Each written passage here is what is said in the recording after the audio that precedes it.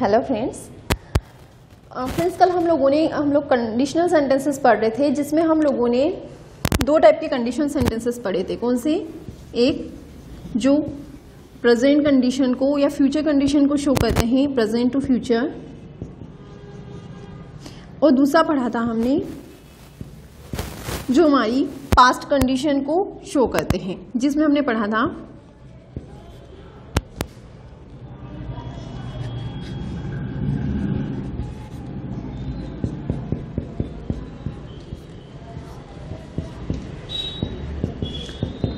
देखिए, ये दो कंडीशनल दो टाइप के कंडीशनल सेंटेंसेस हमने पढ़े थे, जिसको बोला जाता है real condition real condition means क्या?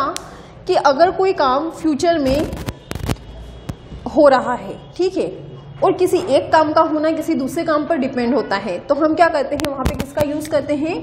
जो फ़र्स्ट कंडीशन होती है सॉरी जो फ़र्स्ट इवेंट होती है, उसके साथ प्रेजेंट का, और जो सेकंड इवेंट होती है, उसके साथ फ्यूचर सिंपल का यूज़ करते हैं. प्रेजेंट सिंपल फ्यूचर सिंपल इनका हम यूज़ करते हैं, ठीक है?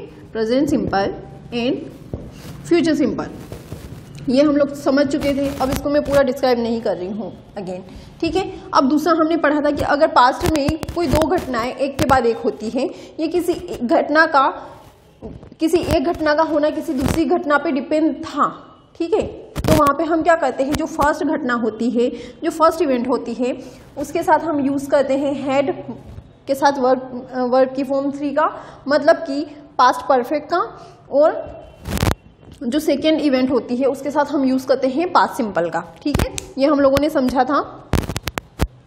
अब इसके बाद हम समझने वाले हैं इमेजिनरी कंडीशन इमेजिनरी कंडीशन क्या होती है? इमेजिनरी कंडीशन का मतलब ये होता है कि जिसमें हम सिर्फ़ इमेजिन कर सकते हैं। कि अगर ऐसा होता तो कैसा रहता? जैसे हम बोलते हैं ना कि काश ऐसा हो जाता, काश वैसा हो जाता, लेकिन वो होता कुछ नहीं है, ठीक है? इमेजिनेशन करना कि अगर ऐसा होता तो वैसा होता, ठीक है? जैसे कुछ लोग बोलते हैं ना कि काश हम भी अमेरिका में पैदा हुए होते तो हमें इंग्लिश आती। ठीक है? मतलब कि हम इंग्लिश समझते इजीली ठीक है? तो वहाँ पे आप अमेरिका में पैदा हुए नहीं हो, पैदा तो आप इंडिया में हुए हो, ठीक है? यहाँ पे रह के ज़रूर आप इंग्लिश सीख सकते हो, लेकिन वहाँ पे आप पैदा नहीं हुए हो। तो आप सिर्फ़ इमेजिन कर सकते हो उस चीज़ को। उस चीज़ को मतलब कि उस चीज़ का कोई दुख ही नहीं है। सिर्फ़ सोच सकते हो कि काश ऐसा हुआ होता, लेकिन ऐसा हो नहीं सकता अब। दोबारा जब अब नेक्स्ट मतलब आपका जब भी नेक्स्ट आपकी लाइफ होगी, आपका जब भी नेक्स्ट टाइम बर्थ होगा तो उस टाइम ज़रूर आप अमेरिका में पैदा होना। अभी आप इंडिया में हुए हो तो चलिए इंग्लिश पढ़ते हैं। तो देखिए इमेजिनरी कंडीशन क्या होती है? इमेजिनरी कंडीशन वाले सेंटेंसेस भी किससे स्टार्ट होते हैं? इफ़ से स्टार्ट होते हैं। ठीक है? अब इफ़ से जब ये स्टार्ट होते हैं, ये इफ़ से ही स्टार्ट होते हैं मतलब अब इसमें तीन कंडीशन होती है। क्या? एक कंडीशन होती है हेड इफ़ के बाद हेड का यूज़ करना। दूसरी कंडीशन होती है वर इफ़ के बाद जो सेंटेंस होता है, उसमें वर का यूज़ करना एंड तीसरी होती है इफ़ के बाद वर्ब की सेकेंड फॉर्म का यूज़ करना, ठीक है? अब इफ़ के साथ तो इन तीनों का ही यूज़ हम अलग अलग सेंटेंसेस में करेंगे, लेकिन जो दूसरा सेंटेंसेस होता है, अब इमेजिनरी कंडीशन क्या होती है, ये भी दो चीज़ों पर बेस्ड ये भी मतलब एक सेंटेंस दूसरे पर बेस्ड होता है, कैसे? कि अगर मैं अमेरिका में पैदा हुआ होता तो मुझे अच्छे से इंग्लिश आती, ठीक है? या मैं इंग्लिश बोल पाता तो ऐसा होता तो फिर वैसा होता मतलब कि कंडीशन है इसमें भी, ठीक है? कि अगर अमेरिका में पैदा हुआ होता या अमेरिका में पैदा हुई होती तो हम इंग्लिश अच्छे से बोल पाते, हमें इंग्लिश पढ़ने की ज़रूरत नहीं होती, ये। तो एक चीज़ का होना, दूसरी चीज़ पर डिपेंड यहाँ पे भी करता है, ठीक है? तो इसमें भी दो सेंटेंसेस होंगे ऑब्वियस सी बात है कि दो सेंटेंसेस होंगे। तो अब देखिए, जब यहाँ पे दो सेंटेंसेस होंगे तो एक सेंटेंस में तो हम इफ़ के साथ सब्जेक्ट और सब्जेक्ट के बाद हेड वर वर्ब की सेकेंड फॉर्म इनका यूज़ करेंगे। लेकिन जो दूसरा सेंटेंस होगा, उसमें जो हेल्पिंग वर्ब रहेगी, वो रहेगी वुड या कुड या शुड या माइट ठीक है? इनमें से कोई सी भी हेल्पिंग वर्ब हो सकती है। वुड शुड कुड या माइट ठीक है? उसके बाद वर्ब की first form.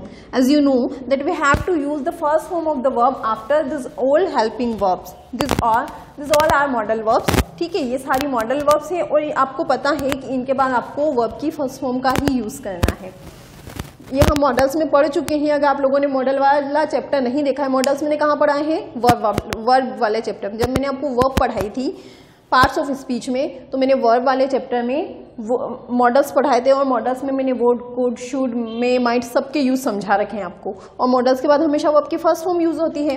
तो इनके बाद आपको वर्ब की फ़र्स्ट फॉर्म यूज़ करना है। ठीक है? ऑब्वियस सी बात है। तो अब इफ़ प्लस हेड का मतलब क्या होता है? सबसे पहले ये देख लेते हैं हम। ठीक है? आप लोग ये लिख लीजिए, मैं इसको इरेज कर रही हूँ।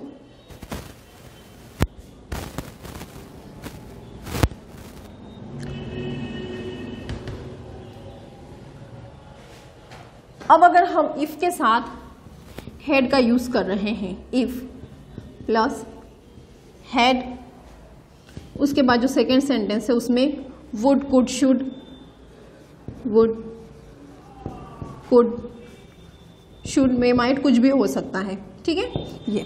तो अब देखिए इफ़ के साथ हेड का यूज़ करने का मतलब ये होता है कि देखिए हेड जो है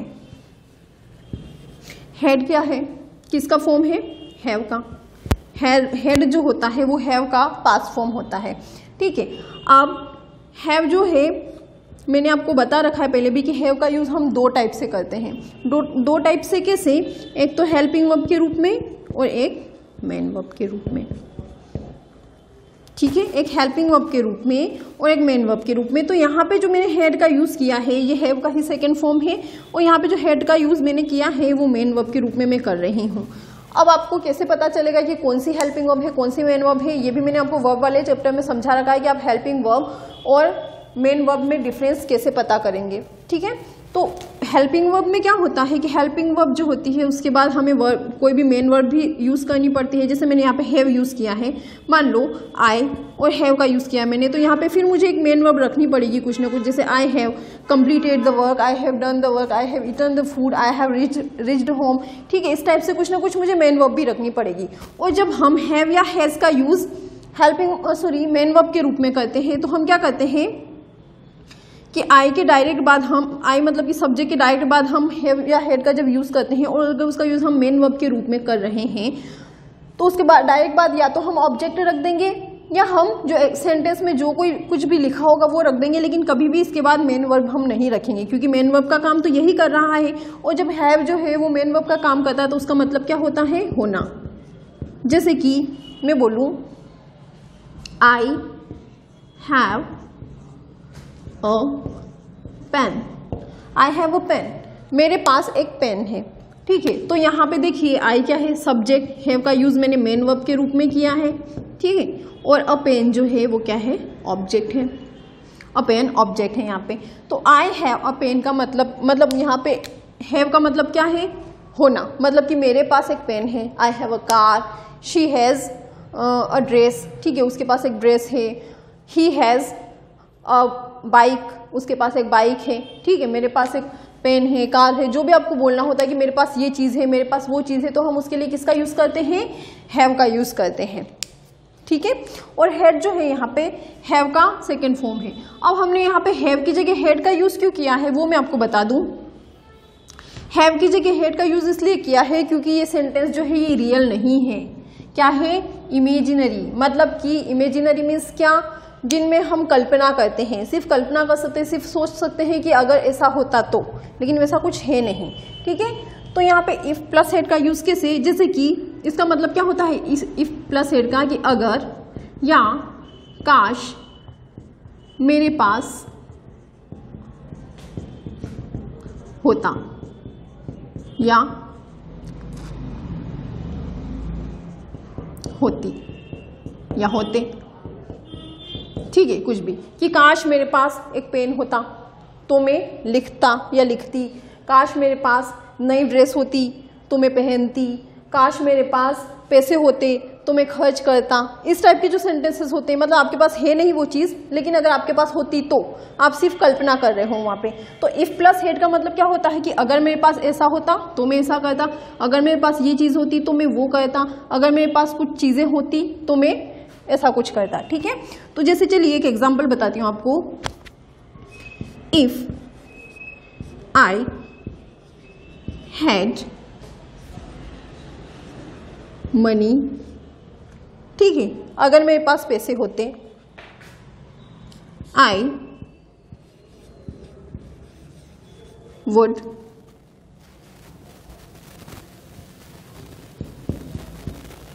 give it to. अब देखिए, अगर मेरे पास पैसे होते या काश मेरे पास पैसे होते I would give give it to you तुम्हें तुम्हें, जैसे हमसे कोई पैसे मांगने आता है, मान लो, है ना? और हम क्या बोलते हैं कि नहीं, अभी तो नहीं है, अगर होते तो मैं तुम्हें दे देती या मैं तुम्हें दे देता। तो यहाँ पे वही बात हो रही है कि इमेजिन इमेजिनेशन हो रही है कि अगर मेरे पास पैसे होते, अभी तो नहीं है, लेकिन अगर होते तो मैं तुम्हें दे देता। तो अब देखिए, यहाँ पे इफ़ आया है। ठीक है, उसके बाद सब्जेक्ट उसके बाद हेड हेड का मतलब क्या? होना, कि अगर मेरे पास होता, ठीक है हेड का मतलब यहाँ पे होना मनी अब ये जो सेकंड सेंटेंस है, इसमें मैंने किसका यूज़ किया है? वुड का, और वुड के साथ वर्ब की फ़र्स्ट फॉर्म का. अब इसमें एरर कैसे आती है? देखिए एरर ऐसे आती है कि यहाँ पे इफ़ आई हैड मनी अब यहाँ आई हैड की जगह ऐसा आ सकता है इफ़ आई हैव मनी अब अगर आप इस सेंटेंस को देखेंगे तो इस सेंटेंस आपको बिल्कुल करेक्ट लगेगा कि if I have money I would give it to you ठीक है? लेकिन यहाँ पे हैव नहीं हो सकता, क्यों नहीं हो सकता? क्योंकि ये इमेजिनरी सेंटेंस है और अगर हम यहाँ पे हैव लिख देंगे तो इमेजिनरी और रियल सेंटेंस में जो रियल कंडीशन है और जो इमेजिनेशन में उसमें डिफरेंस क्या रह जाएगा? तो उस डिफरेंस को शो करने के लिए हम यहाँ पे किसका यूज़ करते हैं? हेड का यूज़ करते हैं, ताकि हम ये बता सके कि अभी सच में मेरे पास नहीं है। अगर होते तो मैं देती। ठीक है? इस टाइप से। तो यहाँ पे आपको ध्यान रखना है कि यहाँ पे आपको हमेशा हेड का यूज़ करना है। अगर इमेजिनरी सेंटेंस है तो यहाँ पे आपको हमेशा हेड का यूज़ करना है। अब दूसरे सेंटेंस में एरर आ सकती है कि वुड की जगह क्या आ गया? विल आ गया। कि अगर मेरे पास पैसे होते तो मैं तुम्हें दे देती। वुड आ सकता है कैन आ सकता है मे आ सकता है शेल आ सकता है। ठीक है? इज़ एम आर आ सकता है। कुछ भी आ सकता है। तो आपको इस चीज़ का ध्यान रखना है कि अगर इमेजिनरी सेंटेंस है, यहाँ पे इफ़ है इफ़ के बाद हेड है, ठीक है? और यहाँ पे जो सेकंड सेंटेंस है तो फिर सेकंड सेंटेंस में क्या आएगा? Would should would could should या माइट ही आएगा। कभी भी विल शेल कैन में इज़ एम आर का यूज़ नहीं होगा। ठीक है? ये चीज़ आपको ध्यान रखनी है। चलिए कुछ और सेंटेंसेस लिखती हूँ।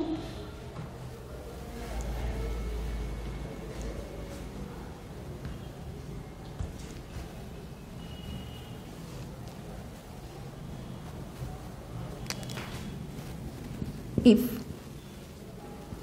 she had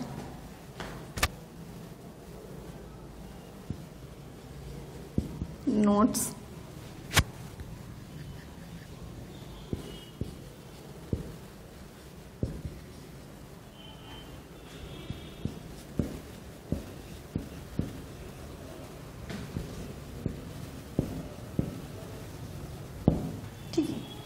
if she had the notes she would help you यहाँ पे नोट्स मतलब कि कॉपी किताब वाले नोट्स ठीक है? जो नोट्स होते हैं ना, वो। तो देखो if she had the notes she would help you अगर उसके पास वो नोट्स होते मतलब कि कोई स्पेशल नोट्स की यहाँ पे बात हो रही है जैसे आपके घर पे आपकी मदर है, और आप से कोई हेल्प मांगने आया है कि नहीं, मुझे वो नोट्स चाहिए, और मुझे उन नोट्स से पढ़ा दो तो आपकी मदर बोलती है ना कि इसके पास अभी तो नहीं है, अगर होते तो वो आपकी मदद कर देती। मतलब है नहीं। पर इमेजिनेशन कि अगर उसके पास होते ठीक है? तो वहाँ पे क्या है? If she had the notes अगर उसके पास नोट्स होते शी वुड हेल्प यू ये यहाँ पे शी उसके बाद वुड और वब की फ़र्स्ट फॉर्म ठीक है? इस चीज़ का आपको ध्यान रखना है कि यहाँ पे हैज़ हैव नहीं आना चाहिए. हैज़ हैव या कुछ भी नहीं आना चाहिए. कुछ भी का मतलब कि अगर यहाँ पे इफ़ है और पीछे वुड है वब की फ़र्स्ट फॉर्म है that means surely you have to put here had ठीक है? और अगर यहाँ पे अगर सेकंड सेंटेंस में एरर आ रही है तो आपको ध्यान रखना है कि इफ़ है शी इफ़ है उसके बाद सब्जेक्ट है। सब्जेक्ट के बाद हेड है दैट मीन्स इमेजिनरी सेंटेंस है। तो आपको लास्ट में वुड शुड कुड या माइट के बाद वर्ब की फ़र्स्ट फॉर्म का यूज़ करना है। ठीक है? मैंने एरर आपको बता दी है कि या, या तो एरर यहाँ पूछी जा सकती है या एरर यहाँ पूछी जा सकती है। ठीक है? ये हो गए आपके इफ़ प्लस हेड वाले सेंटेंस अब दूसरा आता है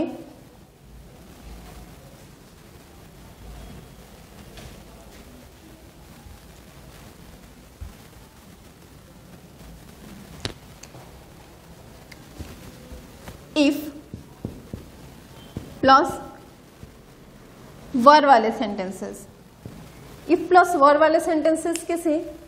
इसका मतलब क्या होता है? कि अगर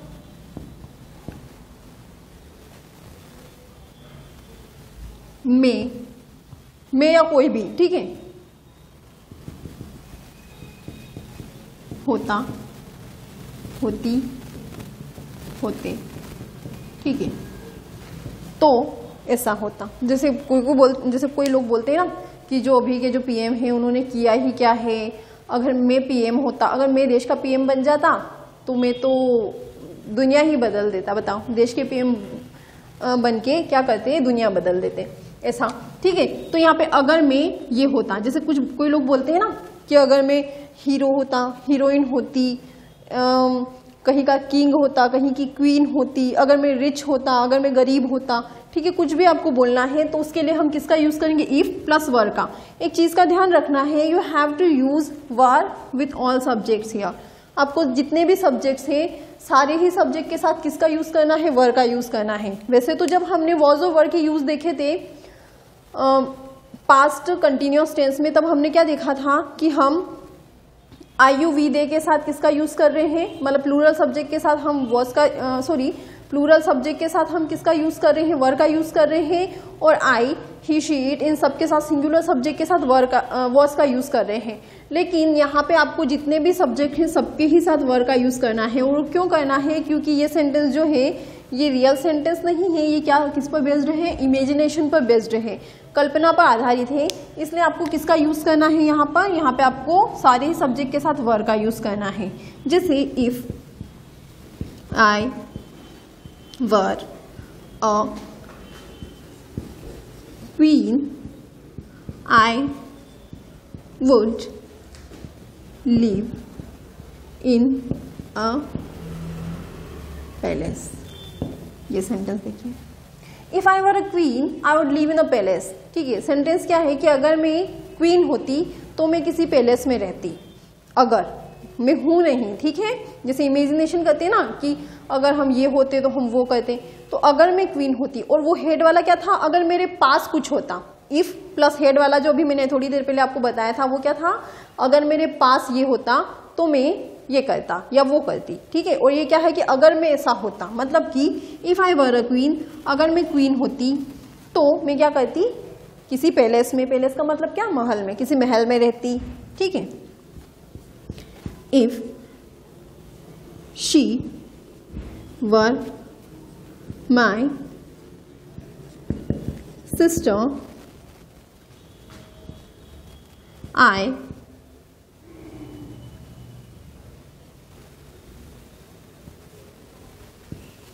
sorry I would love her very much.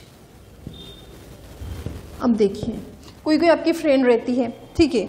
वो आप सोचते हो ना फ्रेंड के बारे में या आ, कि ये तो मेरी बेस्ट फ्रेंड है और अगर ये मेरी बहन होती तो हम एक घर में रहते कितने मज़े करते ठीक है? तो ये वही वाली बात हो रही है कि if she were my sister अगर वो मेरी बहन होती ठीक है, अगर वो मेरी बहन होती I would love her very much तो मैं उसे बहुत प्यार करती, ठीक है? और लड़कों में भी बहुत सारे बहुत बेस्ट फ्रेंड्स रहते हैं तो सोचते हैं कि नहीं, हम बहुत, हम भाई ही होते तो ज़्यादा अच्छा होता, हम दिन भर साथ में ही रहते हैं ऐसा, ठीक है? तो यहाँ पे if he were my brother भी हो सकता है I would love him very much ठीक है? तो यहाँ पे इसका मतलब क्या हो रहा है? अगर मैं कुछ भी, यहाँ पे आप कुछ भी लिख सकते हो if I were an actress if I were an actor ठीक है, मैं एक्टर होता एक्ट्रेस होती, मैं पीएम होता, ठीक है, मैं अमेरिका का प्रेसिडेंट होता, ठीक है, कुछ भी लिख सकते हैं। If I were the president of America तो मैं ये करता, मैं वो करती, ठीक है, इस टाइप से आपको सेंटेंसेस का यूज़ करना है। अब यहाँ पे एरर कहाँ आती है? अब आपने देखा यहाँ पे है शी शी के बाद आपको दे दिया गया, सबको ही पता है कि ही शी इट और सिंगुलर सब्जेक्ट जो होते हैं, उनके साथ किसका यूज़ होता है? वॉस का यूज़ होता है। ये हमने कहाँ पढ़ा था? सॉरी पास्ट कंटिन्यूस टेंस में। अब आपने तो शी के साथ हमेशा से वर्स पढ़ रखा है तो आप तो वर देखकर इसको डायरेक्टली क्रॉस कर दोगे कि नहीं शी के साथ तो वर का यूज़ हो ही नहीं सकता। लेकिन शी के साथ वर का यूज़ होता है आई के साथ भी वर का यूज़ होता है, और कहाँ होता है? वो होता है कंडीशनल सेंटेंसेज में, उसमें से भी इमेजिनरी सेंटेंसेज में वर का यूज़ होता है। ठीक है तो आपको आई के साथ वॉज़ का यूज़ नहीं करना है। अगर इमेजिनेशन अगर इमेजिनरी सेंटेंसेज हो तो। ठीक है? और शी के साथ भी वॉज़ का यूज़ नहीं करना है तो यहाँ पे आपको वॉज़ दिया जा सकता है। या आपको यहाँ पे इस टाइप से स्पेस देकर चार ऑप्शन पूछे जा सकते हैं। वर वॉज़ इज़ विल ठीक है? तो आपको ध्यान रखना है कि आपको इमेजिनरी सेंटेंसेज है इफ़ से शुरू हो रहा है, उसमें कुछ इमेजिनेशन की बात हो रही है, पीछे शुड वुड कुड या वर्ब की फ़र्स्ट फॉर्म है तो आपको देखते से ही वर्ड का यूज़ कर देना है, ठीक है? If she were my sister I would love her very much ठीक है? इस टाइप से।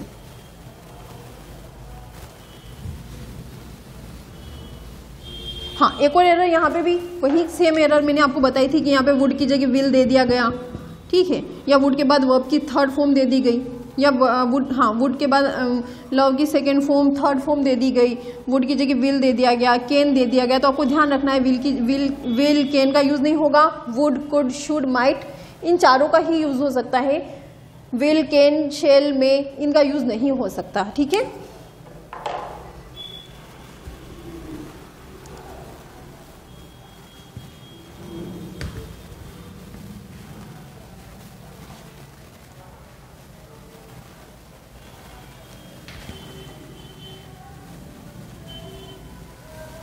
अब देखिए नेक्स्ट है इफ़ इफ़ के साथ वर्ब की सेकेंड फॉर्म मतलब बीच में सब्जेक्ट आता ही है, ठीक है? इफ़ के साथ वर्ब की सेकेंड फॉर्म और जो सेकेंड सेंटेंस होता है, उसमें वही वुड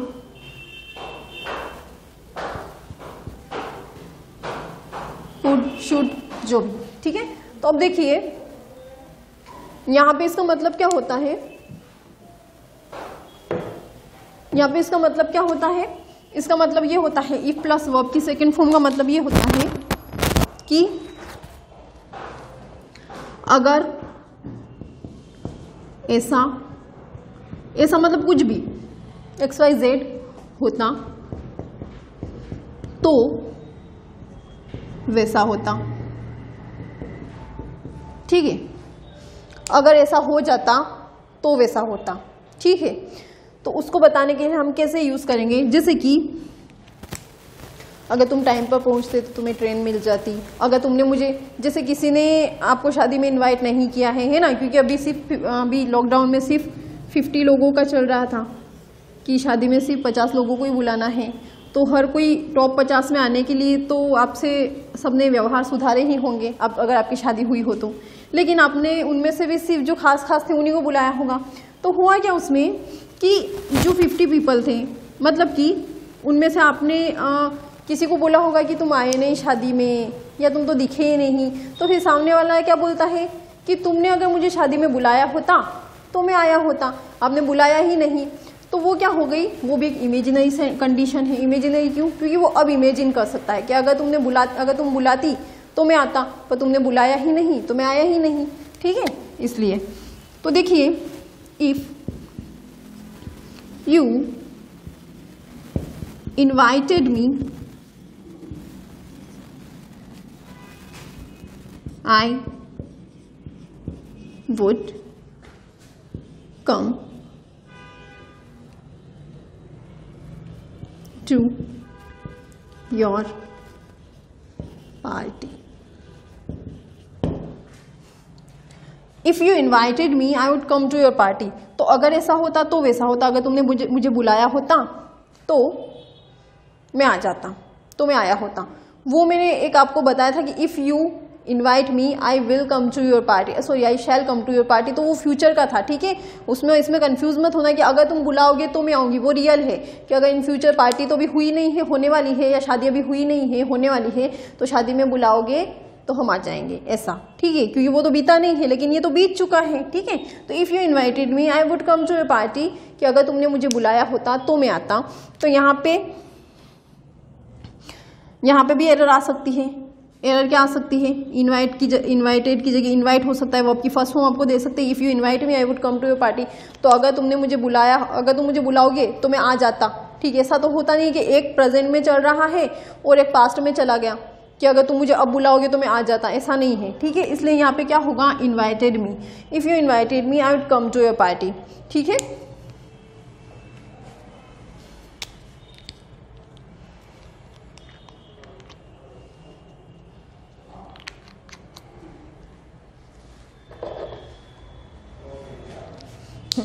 ये। अब एक और सेंटेंस देख लेते हैं। If she studied hard. She would pass the exam. ये सेंटेंस देखिए। इफ़ शी स्टडीड हार्ड अगर उसने अच्छे से पढ़ाई करी होती स्टडीड हार्ड की जगह स्टडीड वेल कर देते हैं हम। ठीक है? If she studied well she would pass the exam देखिए, अगर उसने अच्छे से पढ़ाई करी होती तो उसने एग्ज़ाम पास कर ली होती। ठीक है? तो यहाँ पे भी इफ़ उसके बाद सब्जेक्ट देन वर्ब की सेकेंड फॉर्म मतलब हुआ क्या कि हो तो वो फेल गई। ठीक है? क्या हुआ? फेल हो गई। लेकिन हम सिर्फ़ अभी इमेजिन कर रहे हैं कि अगर उसने अच्छे से पढ़ाई की होती तो पास हो जाती। ठीक है? अब कुछ नहीं हो सकता, लेकिन ऐसा हो जाता तो ऐसा हो जाता। ठीक है? तो यहाँ पे भी वही एरर आ सकती है जो भी दो बार मैंने आपको बताया कि इस सेंटेंस में तो वही एरर आ सकती है कि वुड की जगह विल शेल कैन में आपको दे दिया गया। और यहाँ पे क्या एरर आ सकती है यहाँ पे? कि वर्ब की सेकंड फॉर्म की जगह आपको वर्ब की फ़र्स्ट फॉर्म दे दी जाए। यहाँ पे भी विल का यूज़ किया जाए कि इफ़ शी विल स्टडी यहाँ पे हेड का यूज़ कर दिया जाए कि इफ़ शी हैड स्टडीज़ ठीक है? अब यहाँ पे हेड और हेड के बाद अगर वर्ब की थर्ड फॉर्म आ गई तो ऑब्वियस सी बात है कि सेंटेंस गलत हो जाएगा। इसलिए आपको ध्यान रखना है कि इफ़ से सेंटेंस स्टार्ट हो रहा है वर्ब की सेकेंड फॉर्म है? दैट मीन्स इमेजिनरी सेंटेंस है। ठीक है? ओके ये हमारी तीनों ही जो कंडीशन थी, वो कंप्लीट हो चुकी है। अब इसमें एक और चीज़ आती है कि कभी कभी क्या होता है? कि सेंटेंस में सेंटेंस इफ़ से स्टार्ट नहीं होता है। इसमें एक चीज़ का ध्यान रखना कि वो जैसे मैंने पहले वाले सेंटेंसेस में लिखवाया था ना रियल कंडीशन में कि इफ़ की जगह हम अनलेस का भी यूज़ हो सकता है अनटिल का यूज़ हो सकता है बिफोर आफ्टर वेन इनका यूज़ हो सकता है एज सुन एज का यूज़ यहाँ पे सिर्फ़ और सिर्फ़ इफ़ का यूज़ होगा। और कभी कभी क्या होता है कि इफ़ का यूज़ नहीं होता है और इफ़ की जगह हैड या वर्ड जो है जो मैंने फ़र्स्ट इमेज फ़र्स्ट और सेकेंड सेंटेंसेस में आपको बताया था कि इफ़ के बाद हेड और इफ़ के बाद वर ठीक है। कभी कभी क्या होता है कि ये दो टाइप के जो सेंटेंसेस होते हैं, इनमें पहले इफ़ नहीं आके क्या होता है कि पहले से हेड और पहले से वर का यूज़ कर दिया जाता है तो वो भी बिल्कुल सही होता है। कैसे? जैसे भी एक सेंटेंस में आपको लिख के बताती हूँ if I had money I would give it to you एक सेंटेंस ये है। दूसरा देखते हैं। If I were a queen I would leave sorry live in a palace. ये सेंटेंस है। अब देखिए कभी कभी क्या होता है कि यहाँ पे इफ़ नहीं लगाया जाता है। ठीक है? क्यों?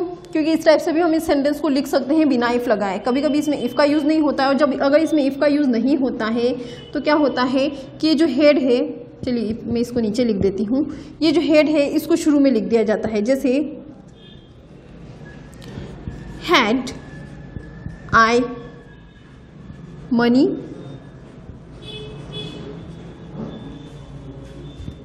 I would give it to you. अब इस चीज़ को ध्यान में रखना कि यहाँ पे हेड जो है वो सब्जेक्ट से पहले आ रहा है, इसका ये मतलब बिल्कुल नहीं है कि सेंटेंस इंटेरोगेटिव हो गया है। सेंटेंस इंटेरोगेटिव नहीं हुआ है। हमने यहाँ से कुछ हटाया है, इसलिए इसकी जगह हेड को लगाया और क्या हटाया है? इफ़ को। We have removed if from here so we have so we put had here ठीक है? हमने यहाँ से इफ़ को रिमूव किया है, हटा दिया है तो हमने क्या किया? यहाँ पे हेड को यूज़ किया है। और बिना इफ़ के भी इसका मतलब वही हो रहा है कि अगर, अब जैसे मैंने यहाँ इफ़ तो नहीं लगा। इफ़ का मतलब क्या होता है? अगर तो अब मैंने यहाँ से इफ़ हटा दिया तो क्या इसका मतलब चेंज हो गया? नहीं, बिल्कुल नहीं। इसका मतलब वही निकल रहा है कि अगर मेरे पास पैसे होते तो मैं तुम्हें दे देती, ठीक है? वही मतलब निकल रहा है। तो कभी कभी क्या होता है कि इफ़ को हटा के जो हेड होता है, उसको आगे पुट कर देते हैं सब्जेक्ट से पहले तो उसका भी सेम मतलब निकलता है। जो मतलब इफ़ वाले सेंटेंस का निकलता है, वही मतलब इसका भी निकलता है। अब वर वाले सेंटेंस में भी ऐसा ही होता है कि कभी कभी इफ़ को हटा के वर को शुरू में यूज़ कर लेते हैं। वर आई अ क्वीन और बाकी पूरा सेंटेंस एज इट इज़ अब एक चीज़ का ध्यान रखना कि आपने इसे हेड को यहाँ आगे लगा दिया। तो ऐसा मत कर लेना कि वुड को भी आई से पहले लगा दो। अदरवाइज़ वो सेंटेंस गलत हो जाएगा। ठीक है? आपको लास्ट वाला जो सेंटेंस है, उसको एज इट इज़ रखना है और जो फ़र्स्ट सेंटेंस है, सिर्फ़ उसमें हेड या वर सिर्फ़ हेड वाले या वर वाले सेंटेंस को क्या करना है? उसमें अगर ये आगे भी इफ़ को हटा के अगर ये आगे शुरू में ही यूज़ होता है तो भी ये सेंटेंस सही होता है। ठीक है? तो यहाँ पे भी देखिए were I a queen I would live in a palace कि अगर मैं क्वीन होती तो इसका भी सेम मतलब निकल रहा है, क्योंकि इफ़ को हटा के हमने वर को आगे यूज़ कर लिया तो भी सेम मीनिंग है। और ये सेंटेंस ये दोनों ही सेंटेंस सही है, आप ये मत समझना कि इस टाइप के सेंटेंस भी गलत हो जाते हैं। और इनके लास्ट में आपको क्वेश्चन मार्क का यूज़ नहीं करना है। क्यों नहीं करना है? क्योंकि इंटेरोगेटिव या प्रश्नवाचक सेंटेंसेस नहीं है। ये इमेजिनरी सेंटेंसेस हैं, जो कि ये और ये सेम है। ठीक है?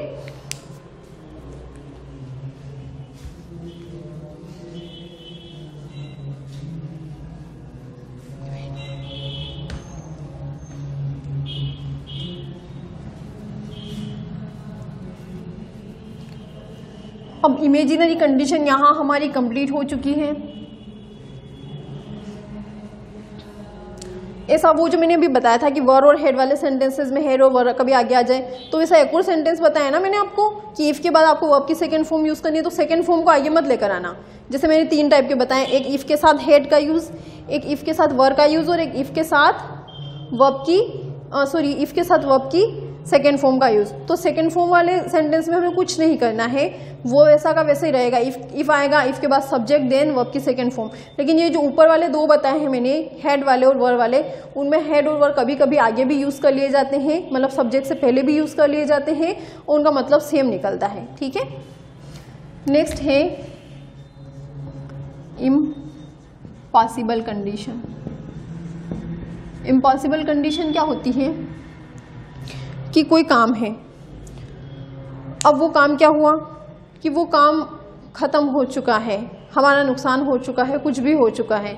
लेकिन हम क्या करते हैं कि हम कंटिन्यूसली उस काम के बारे में सोचते रहते हैं कि अरे यार मैंने ऐसा कर लिया होता तो ज़्यादा अच्छा होता तो उससे वो हो जाता। ठीक है कि अगर ऐसा मैंने कर लिया होता तो वैसा हो जाता। जबकि काम ख़त्म हो चुका है। जैसे कि आपने आ, जैसे आप घर से टाइम पे नहीं निकले हैं। अब आप जाते हैं रेलवे स्टेशन एंड ट्रेन क्या होती है? चली जाती है। ट्रेन, आपके जाने से पहले ही ट्रेन छूट चुकी होती है डिपार्ट हो चुकी होती है।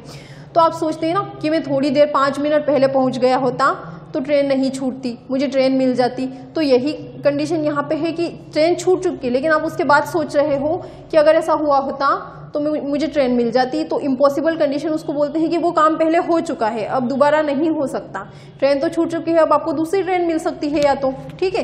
लेकिन हम सोचते हैं ना कि अगर थोड़ी देर पहले ऐसा हुआ होता तो हम ये कर लेते, थोड़ी देर पहले वैसा हुआ होता तो हम वो कर लेते। तो बस उसी को इम्पॉसिबल कंडीशन बोलते हैं कि अब उस काम का दोबारा होना पॉसिबल नहीं है, लेकिन हम उसके बारे में बस सोच सकते हैं कि अगर ऐसा हो गया होता तो वैसा होता।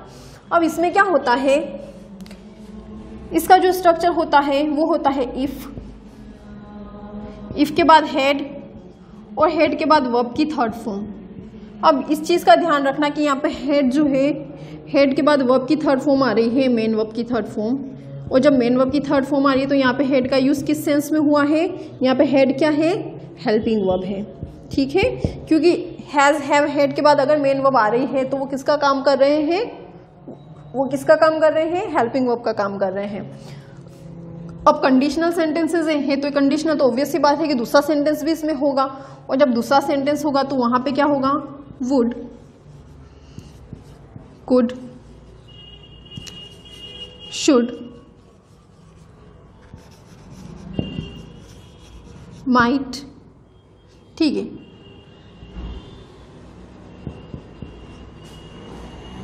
Would have verb की third form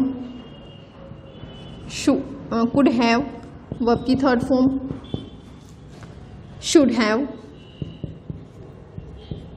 third form and might have third form ठीक है?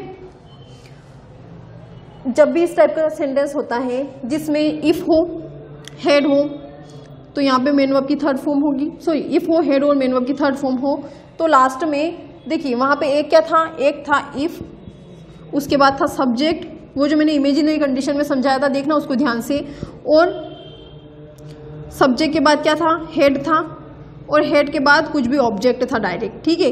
If I had money if she had notes ठीक है, इस टाइप से। लेकिन यहाँ पे क्या है, यहाँ पे हेड है हेड के बाद वापस मेन वर्ब है और मेन वर्ब की थर्ड फॉर्म है।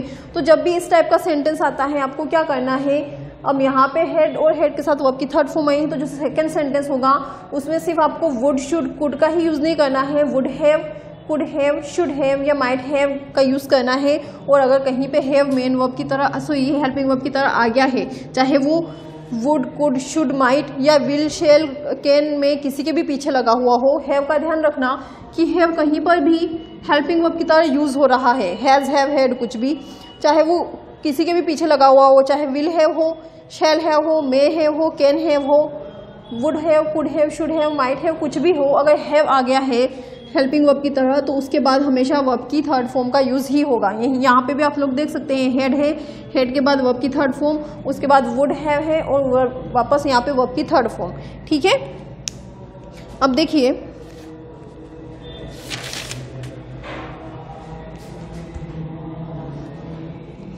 तो इसमें और उसमें कंफ्यूज मत होना। आप लोग ये लिख लीजिए, मैं इरेज कर देती हूँ इसको।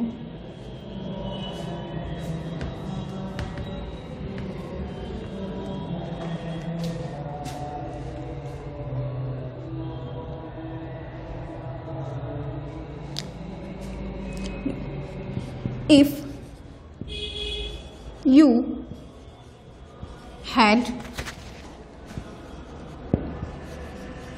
informed me I would have taken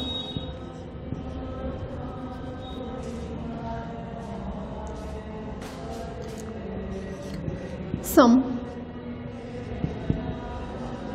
steps. अब देखिए if you had informed me if subject subject के बाद had as a helping verb informed main verb की third form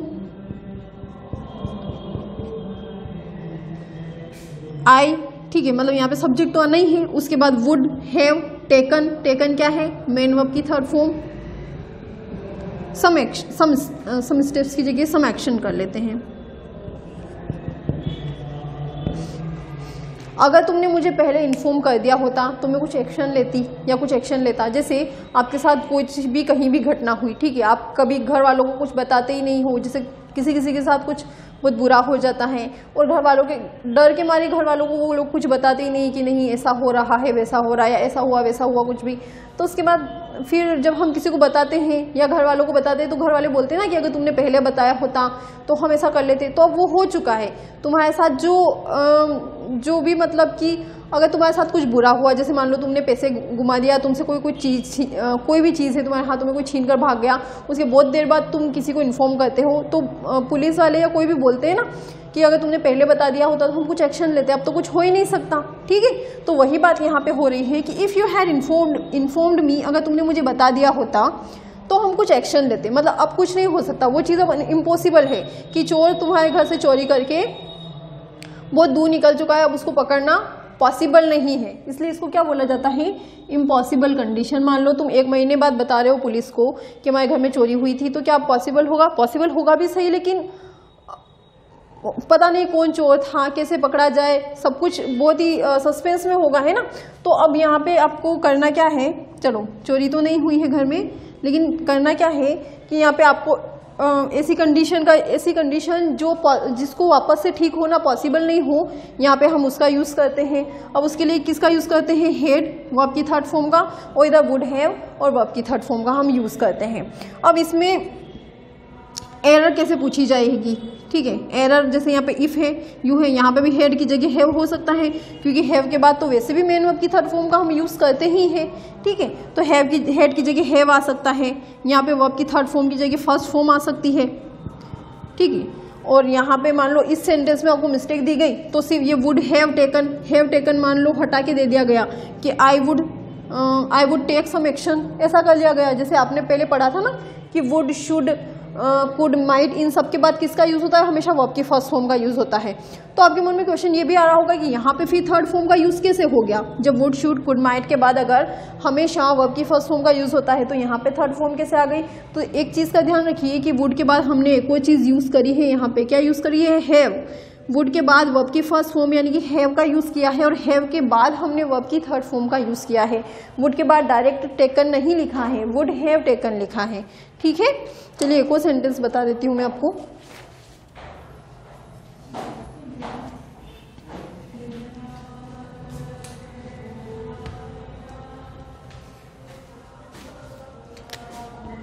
If you had reached the station on time. You would have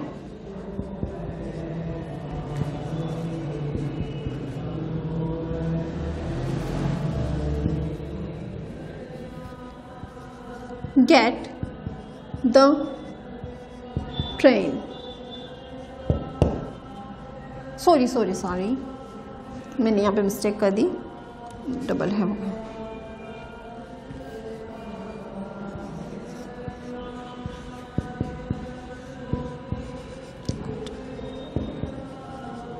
चलिए, ये दो लिखने की बजाय हम एक ही लिख लेते हैं.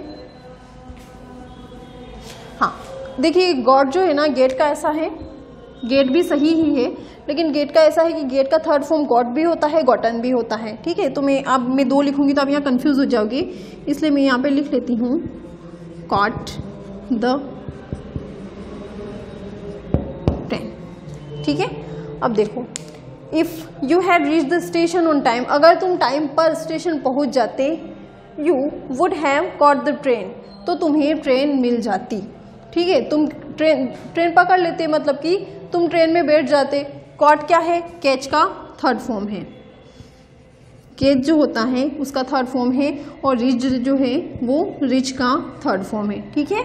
तो if you had reach the station on time अगर तुम टाइम पर स्टेशन पहुँच जाते you would have caught the train तुम ट्रेन पकड़ लेते। लेकिन हुआ क्या? अब कुछ करना पॉसिबल नहीं है क्योंकि वो स्टेशन लेट पहुँचा है और ट्रेन ऑलरेडी छूट चुकी है। तो अब कुछ नहीं किया जा सकता, लेकिन सिर्फ़ सोचा जा सकता उस कंडीशन के बारे में कि अगर ऐसा हो गया होता तो अच्छा होता। ठीक है? तो इस टाइप की कंडीशन को बोलते हैं इम्पॉसिबल कंडीशन जिसमें हमारे साथ कुछ ना कुछ हो चुका होता है, लेकिन बाद में बस हम पछताते पछता सकते हैं। ठीक है? वी कैन रिग्रेट ओनली कि अगर ऐसा होता तो अच्छा होता। ठीक है? तो ये सेंटेंस है इफ़ ये if you had reach the station on time अगर तुम स्टेशन टाइम पर पहुँचे होते तो तुम्हें ट्रेन मिल जाती। अब यहाँ पे एरर वही मैंने बताया कि हेड की जगह हैव दे सकते हैं रीच्ड की जगह। वर्ब की फ़र्स्ट सिर्फ़ रीच दे दिया। अब यहाँ सेकेंड सेंटेंस में वुड की जगह विल कर दिया। विल हैव कर दिया, मान लो। Will have caught the train कर दिया। ठीक है? हैव की जगह यहाँ पे भी हेड कर दिया। कॉट की जगह कैच कर दिया। ठीक है तो किसी भी टाइप से एरर दी जा सकती है तो इस चीज़ को आपको ध्यान रखना है। ये आपकी सारी ही जो कंडीशनल सेंटेंसेस थे जिसमें रियल कंडीशन इमेजिनरी कंडीशन और इम्पॉसिबल कंडीशन ये सारे सेंटेंसेस और टेंस का जो चैप्टर है वो आज कंप्लीट हो चुका है। आई डोंट थिंक कि अभी उसमें कुछ भी बचा हो। अगर आपको कुछ भी डाउट है कि नहीं मैम उसमें ये चैप ये, ये टेंस के पूरे टॉपिक में से ये चीज़ बच गई है तो आप कमेंट बॉक्स में लिख सकते हैं ठीक है? तब तक के लिए आप रिवाइज करते रहिए। हमारे और पैरागोजी के वीडियोस बहुत ही जल्दी आने वाले हैं। आपकी एग्ज़ाम की डेट भी वैसे आगे बढ़ गई है। तो अब आप आराम से थोड़ी और अच्छे से पढ़ाई कर सकेंगे। ठीक है? तो अच्छे से पढ़ाई कीजिएगा और खूब मेहनत कीजिए। तब तक के लिए बाय